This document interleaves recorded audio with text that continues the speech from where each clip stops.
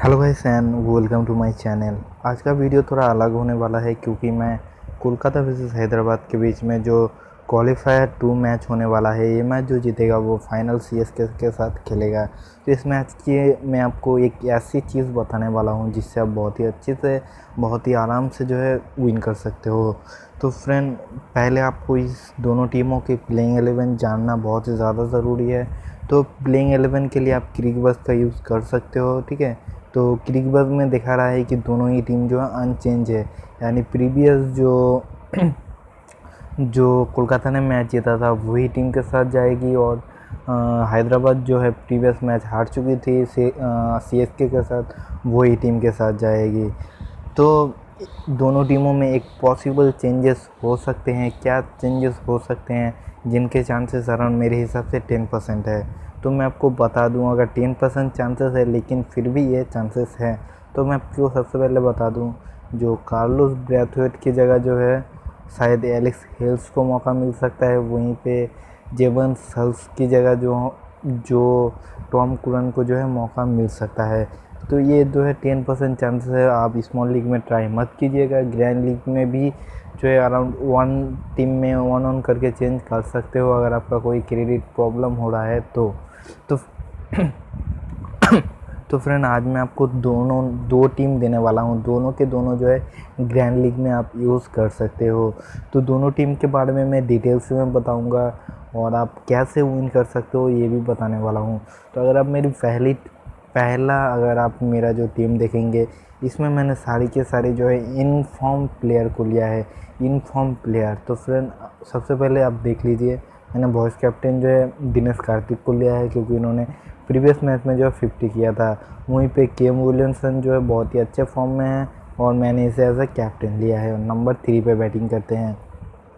वहीं पे मैंने शिखर धवन हालाँकि फ़र्स्ट बॉल पे आउट हो चुके थे, लेकिन अच्छे खासे फॉर्म में है। क्रिसलिन एक बहुत ही अच्छी इनिंग खेल रहे हैं। वहीं पे शुभमन गिल को जब भी मौका मिल रहा है, वो बहुत ही अच्छे से कंट्रीब्यूट कर रहे हैं। वहीं से आंद्रे रसल ने प्रीवियस मैच में जो 49 रन किया था सकीब अल हसन एक आपके लिए की ऑलराउंडर है और ब्रैथवेट भी बैटिंग में अच्छे फॉर्म में है। तो फ्रेंड हम यहाँ पे देख सकते हैं, यहाँ पे सारी के सारे यूनिफॉर्म प्लेयर है। वहीं पे सिद्धार्थ कौर पदीश कृष्णा एंड कुलदीप यादव को मैंने लिया है। तो फ्रेंड, अब हम बात कर लेते हैं इस टीम के बनाने का मकसद। इस टीम आप कैसे जीत सकते हो? जो कि इनफॉर्म प्लेयर है, अगर रन करेंगे, अगर सारे के सारे प्लेयर जो अच्छा परफॉर्म करेंगे तो हम अच्छा विन कर लेंगे।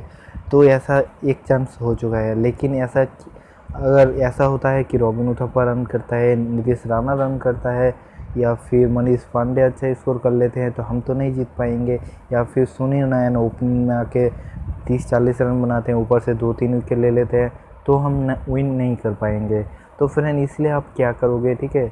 मैंने क्या किया है, एक और मैंने टीम बनाया है, जिसमें जो सारी के सारी जो मैंने आउट फॉर्म प्लेयर है, उन्हीं को लिया है। जैसा कि आपको दिखा दूँ मैं, मनीष पांडे, रॉबिन उथप्पा, यूसुफ पठान, नीतीश राणा यहाँ पे मैंने केम विलियम्स उनको इसलिए लिया है क्योंकि ये टेक्निकली बहुत ही अच्छे प्लेयर है और लगातार जो है रन बना रहे हैं। इसकी जगह आप चाहें तो वो क्रिस लिन या फिर शिखर धवन को ट्राई कर सकते हैं या फिर किसी एक और जो है ऑलराउंडर को ऐड कर सकते हैं।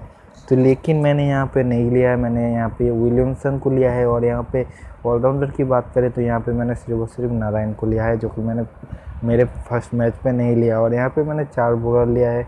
कुलदीप यादव, पीयूष चावला, भुवनेश्वर कुमार और यहाँ पे मैंने राशिद खान को लिया है। और कैप्टन एंड वाइस कैप्टन की बात करें तो मैंने यहाँ पे रॉबिन उथप्पा और मनीष पांडे को कैप्टन को लिया, कैप्टन लिया है। अगर ये लोग रन करते हैं तो क्योंकि बहुत ही जल्दी इनकी बैटिंग आ जाती है। वन डाउन पे रॉबिन उथप्पा, आप समझ सकते हो, लगभग लगभग ये ओपनिंग ही करते हैं, क्योंकि नारायण को अ पिंच हिटर जो है भेजा जाता है। वहीं पे मनीष पांडे को अगर मौका मिलता है तो वो अच्छी खासी इनिंग खेल सकते हैं। हम लोगों ने ऐसा देखा है। तो वो हमारा अगर पहला टीम अगर इसको नहीं करेगा तो ये टीम हमारा बहुत ही अच्छा जो है रन कर देगा। तो फ्रेंड, इसी तरीके से अगर आपको टीम का एनालाइज करना है और जीतना है तो प्लीज़ मेरे चैनल को सब्सक्राइब करो, लाइक करो वीडियो को और शेयर ज़रूर करना। तो फ्रेंड, इस वीडियो में इतना ही। मिलते हैं अगले वीडियो में।